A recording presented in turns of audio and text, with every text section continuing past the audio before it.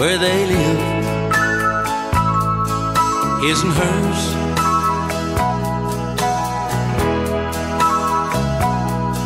The garage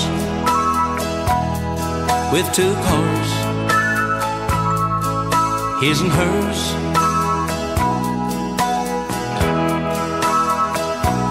On their hands, matching bands, his and hers.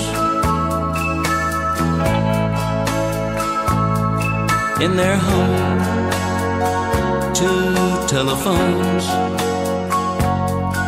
his and hers. In the den, two chairs, his and hers.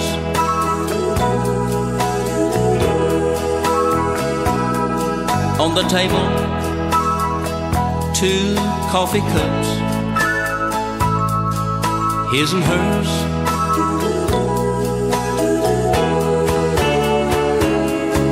On the outside, looking in,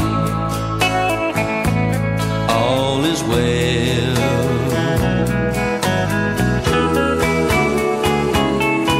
On the inside, there's a story too sad to tell.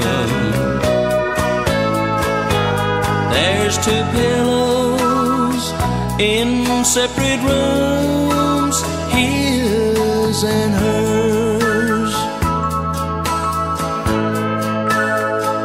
Love was inside.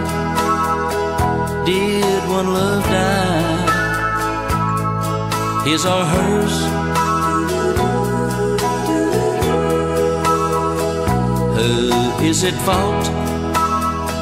Is their love lost? His and hers?